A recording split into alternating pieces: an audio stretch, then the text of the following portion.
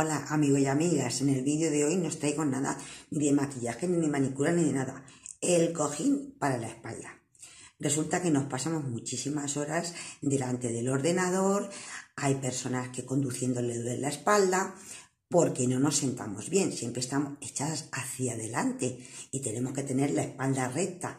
Entonces digo, yo que lo había visto, he dicho un cojín para la espalda y os quería, o quería compartir con vosotros y con vosotras porque es que lo veo bien para todo el mundo.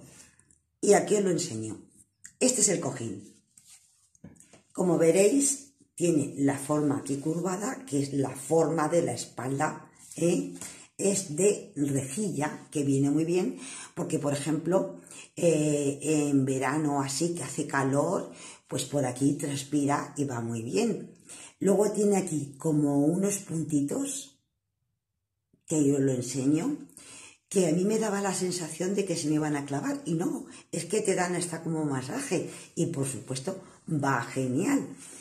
Y lo mismo también va en rejilla, entonces eh, no, no, no, no, se clava nada, absolutamente nada.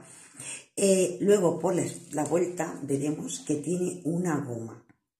Con esta goma lo podemos adaptar pues a una silla o en el coche y todo.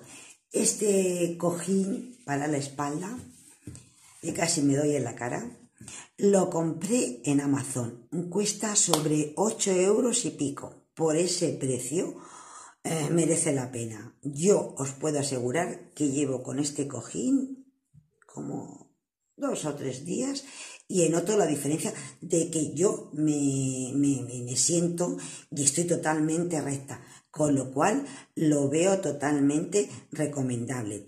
Y quería compartir con vosotros o con vosotras eh, este, este, este producto que me parece que va genial.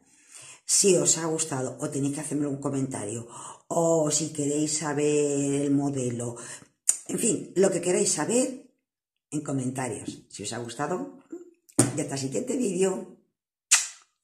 Chao.